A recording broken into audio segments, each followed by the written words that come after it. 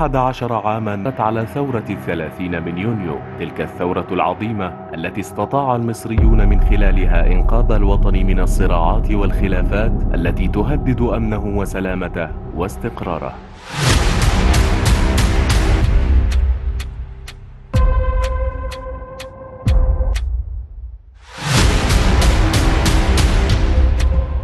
ملحمة عظيمة خرج فيها الملايين إلى الشوارع والميادين وهم على قلب رجل واحد لرفض استمرار حكم جماعة الإخوان التي دفعت البلاد في عام واحد إلى الاضطرابات وغياب الأمن والفتنة الطائفية والسياسية ومواجهة المعادلة التي أرادوا فرضها. إما نحكمكم وإما نقتلكم.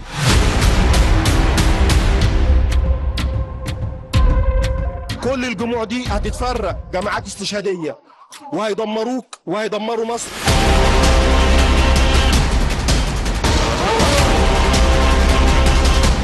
للمرة الثانية في عامين يخرج الملايين من الشعب إلى الشوارع ليصحح مسار خروجه الأول. وعندما اجتمعت إرادة الشعب مع إرادة القيادات الوطنية استجاب جيش مصر ليفرض مطالب المصريين.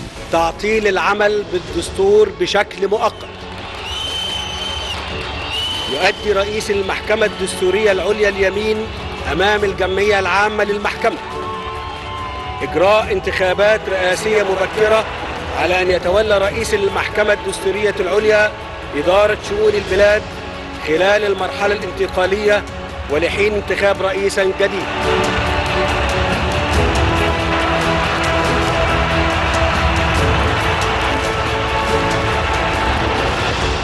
كانت ثورة الثلاثين من يونيو هي صرخة الشعب لرحيل جماعة موتوا بغيظكم والتي بعثرت كل المخططات تجاه مصر وشعبها من الفوضى الخلاقة إلى الشرق الأوسط الجديد.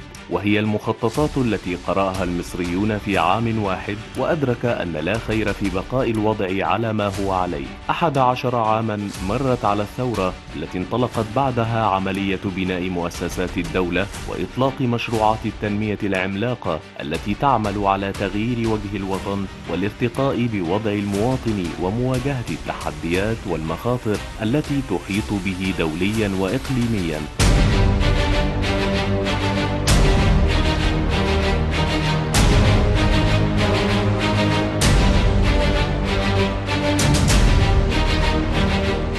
ولكي تحرز الدولة المصرية تقدما في كل المجالات هدفه الأول هو رفع مستوى معيشة المواطنين وتحسين الخدمات المقدمة له على كل المستويات وفي كل القطاعات. لتبقى تلك الثورة علامة في تاريخ مصر الحديث على قوة الشعب وقدرته على التغيير وامتلاكه لمؤسسات تعبر عنه وعن مطالبه.